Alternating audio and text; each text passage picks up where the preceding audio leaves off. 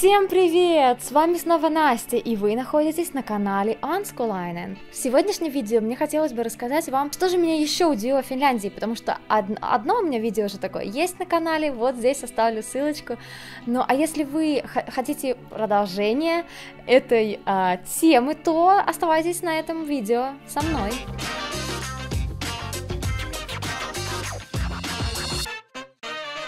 В общем, в 16 лет мне захотелось сделать свой нетбанкинг. И, в принципе, хотелось бы знать вообще, что за система, там, как, это все, как этим всем пользоваться, потому что в 16 лет я еще ничего этого не умела, как бы.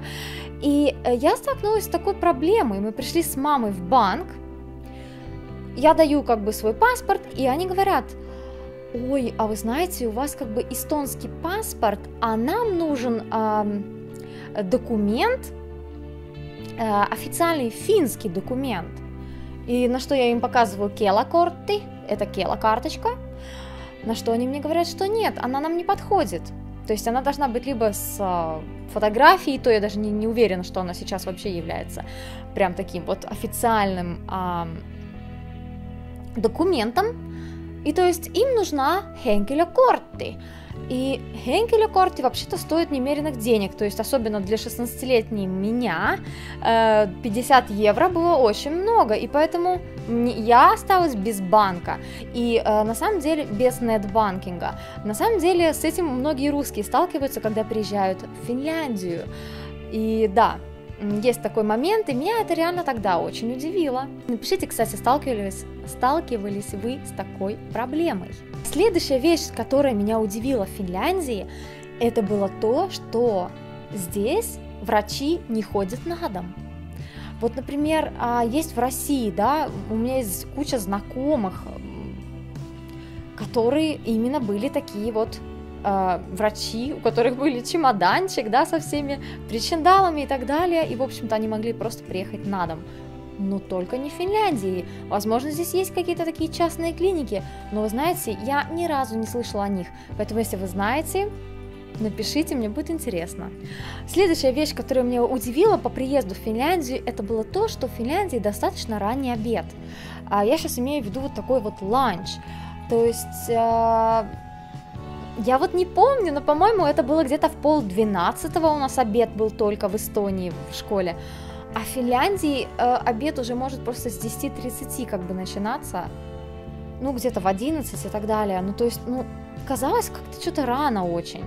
Вот. Э, как-то рано очень. Я заметила, что многие вот русские тоже это замечают, что что-то как-то очень рано, потому что, например, там чуть ли не во Франции, там чуть ли в 2, в 3 как бы обед, ну, в общем, вот так. Не знаю, я могу быть сейчас не права, но вы меня исправите, вы у меня очень умные. Дальше такой пункт, он немножко субъективный, а, я не хочу обобщать под всех, как бы всех финнов про это. Кстати, эти все вещи, которые я вам сегодня перечисляю, это чисто из моего опыта, на моем опыте основ основывается, и я не говорю, что все так делают, но по большому счету это происходило все со мной и с моими друзьями, знакомыми и так далее. Так вот, я заметила, что, например, если ты в Эстонии находишься, и у тебя есть какая-то там заначка в виде шоколадки, то ты обязательно поделишься ей с друзьями.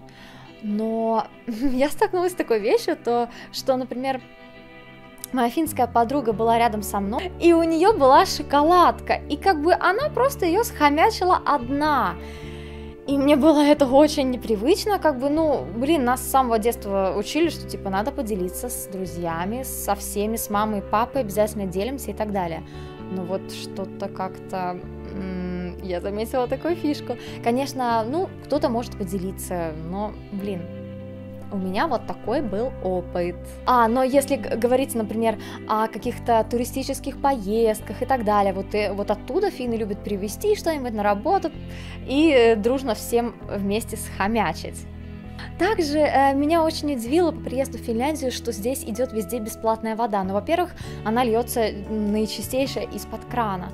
А, здесь никто не кипятит воду и никто не заморачивается. В Финляндии одна Финляндия это страна, где наичистейшая вода вообще фин, э, где вообще наичистейшая вода течет из-под крана. Здесь, э, здесь очень хорошая система очищения воды, все очень круто, поэтому даже вам не нужно платить за воду в баре, либо в ресторане, то есть вам приход, приносят графин воды, вы получаете это абсолютно бесплатно.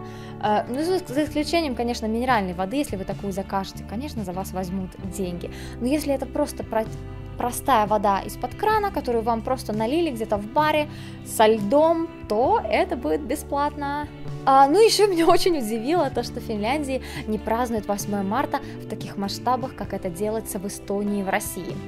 Ну, в России я не жила, но, знаете, я как бы росла в очень русской сфере, а, в русскоязычной сфере, и как бы вот в школе у нас везде а, праздновался этот праздник, и дома, и так далее, э, в общем, но в Финляндии а, они как-то немножко обходят стороной этот праздник, то есть вот таких обилиев букетов, которые можно видеть на улице, этого нет, они не поздравляют своих женщин прям в таком вот большом масштабе, в таком большом волюме. Э, это не хорошо и не плохо, но просто как факт говорю как есть. И следующее, то, что меня удивило, это то, что вот если финны, например, все-таки покупают цветы девушкам, а, кстати, забыла сказать, что финны не дарят цветы девушкам практически, э, ну, если они уже живут вместе и так далее, это да, а вот на свиданках и все такое, они как бы, ну, это, ну, здесь нет такой культуры. Э, ну, некоторые мужчины и дарят, но в принципе, такого вот поголовного, э, таких мужчин с цветами вы здесь не увидите, с букетами. А если увидите, то этот букет, скорее всего, будет а, завернут просто в три короба, можно так сказать, а, просто, я не знаю, в три слоя, будет очень хорошо плотно упакован, там будет специальная жидкость э, с водичкой а, для цветка, чтобы он не завял, то есть все делается для того, чтобы было легко передвигаться с этим букетом, то есть если девушка получит букет, она даже не увидит, как он выглядит, потому что он и сверху, и снизу замотан так, что это прямо что-то с чем-то, зато вы сможете э, безгранично, безгранично, вообще без всяких проблем передвигаться продвигаться с этим букетом потом к себе домой. Ну, ну не гениально, а?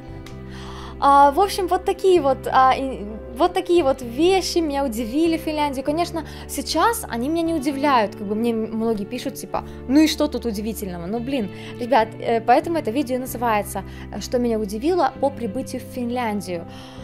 А сейчас как бы это уже обычные вещи, я с ними живу, я живу в Финляндии 16 лет, кому интересно, если кто первый раз на моем канале. Вот, ну, в общем, вот такие вот дела, всем спасибо за просмотр, а, с вами была Анска Ланин, и пока-пока!